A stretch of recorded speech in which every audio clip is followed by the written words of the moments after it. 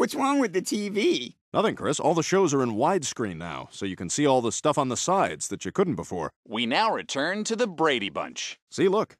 Here's what you used to see. Good night, Mike. Good night, Carol. And here's the stuff you missed.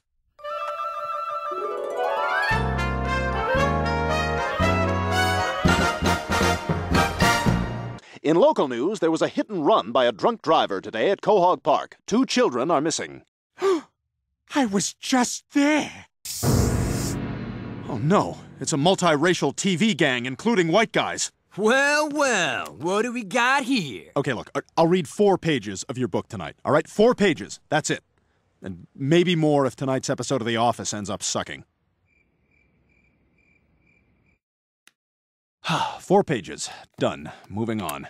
I know my staplers by sound and by weight. And that stapler, good sir, is a shroot. Ha! Look at John Krasinski look at the camera. He can't believe this guy. Oh, but there were going to be more hijinks in Scranton. Scranton. Dunder Mifflin. funny words are funny.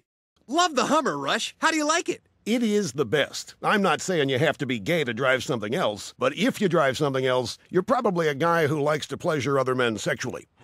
Hey, listen, sister, I just. I'm sorry. Republican Catholic? Yes, indeed, there are. Republican Muslims? Well, let's not go too far. no Muslims? There are too many tall buildings. Ugh, this is a bad idea. But I guess sometimes Fox has bad ideas, huh?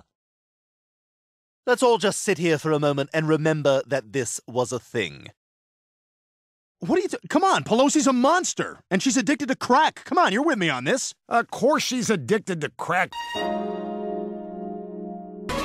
Aha! Who are you? How did you get in here?